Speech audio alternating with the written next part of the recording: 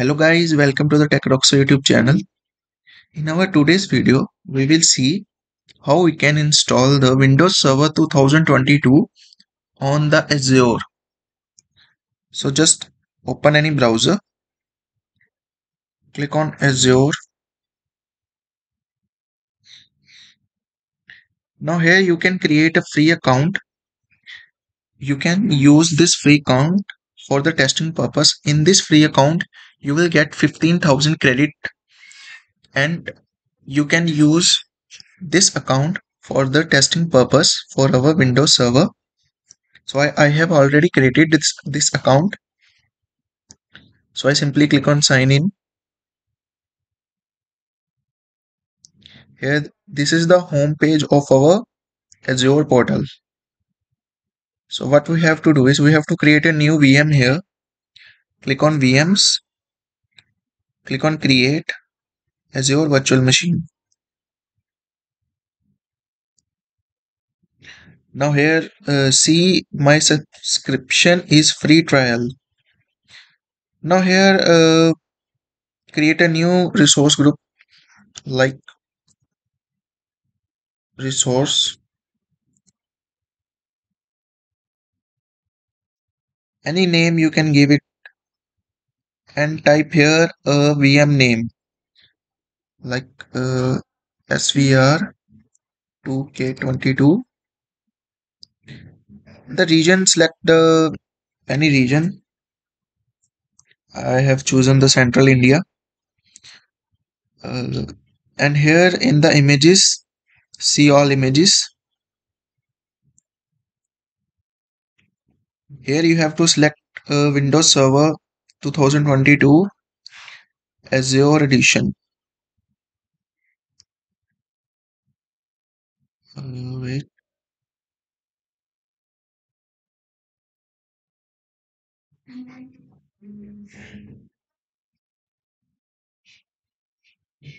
Here, Windows Server 2018 Data Center Azure Edition.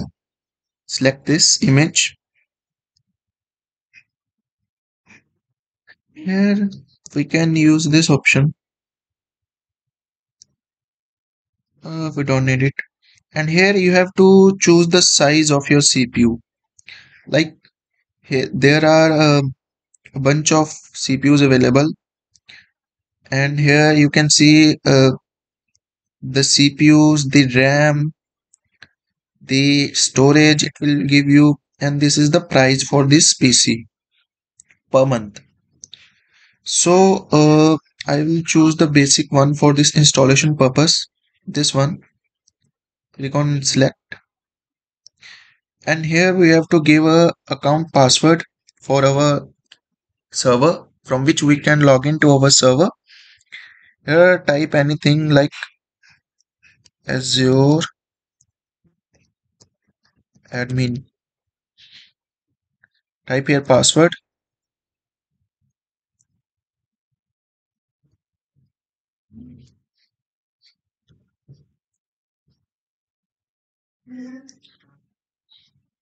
now here it is uh, asking for the port RDP port. It is remote desktop port. We can also uh, access this server through the remote desktop. Next. Here uh, it is asking for the SSD the premium SSD gives you good speed a very fast speed and a standard SSD gives you a standard speeds so for this testing purpose I will use the standard SSD you can also attach any data disk with this server networking. It will automatically create an public IP for you. If you want to create any new you can create it from here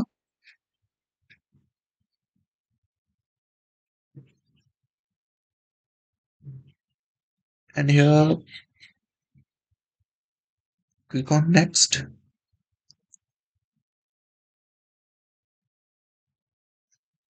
Next. Next. Extensions. Here you can install extensions like if you want to install antivirus or any other uh, extension here. There are a lot of extensions available. So right now we don't need any extension simply click on next. Here you can add any tag like environment pre-production environment testing like any kind of tag you can add here. Next.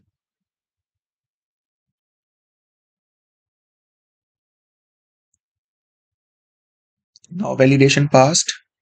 Click on create.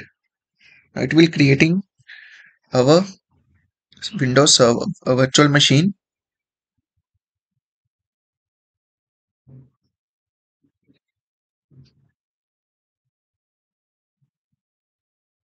Our deployment is in process.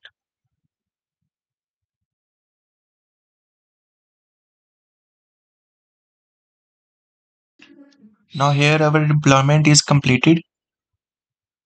Now go to the resource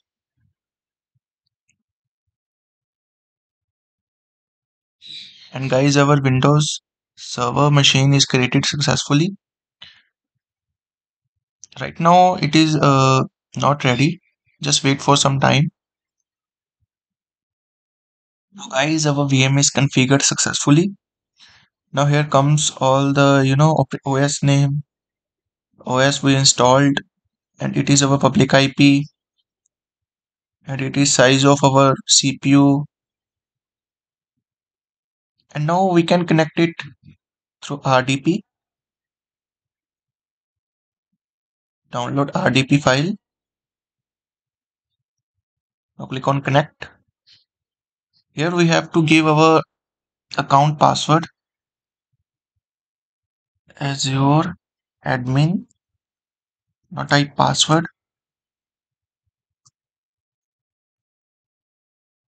and click on ok now click on yes.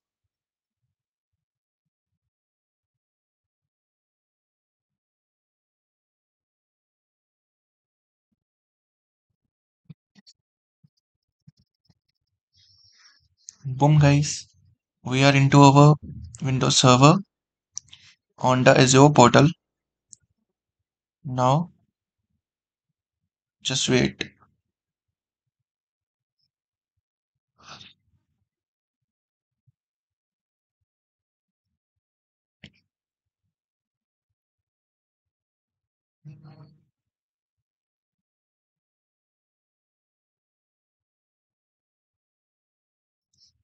now here is the information about our this server. Like the processor and ram disk space our workgroup ip and it is our os version. Now we can also manage this server with the help of this windows admin center. Just click on this and click on install. Now it is installing the windows admin center to our server.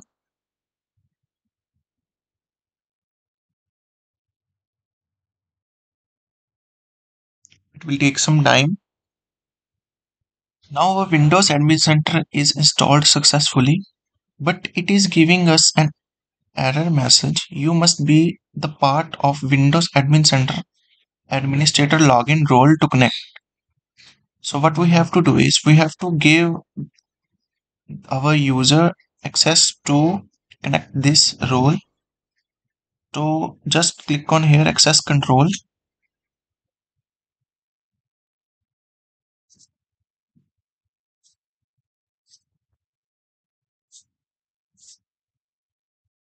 Here go to members select members here your account comes. Select your account.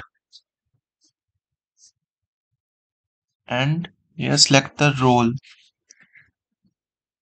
Select here windows. Admin center login. And next next review plus assign. Now it is adding a role assignment Go back to your Windows Admin Center. It will take a minute. So just wait.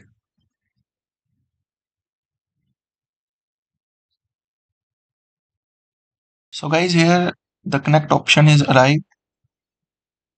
Just click connect.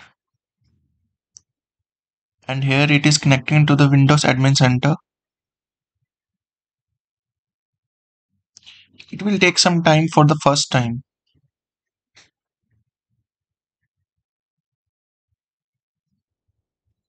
So here our Windows Admin Center is open. Here we can see the information about our server, name, processor, here the CPU utilization. We can also uh, do a couple of things like certificates, devices, files and file sharing.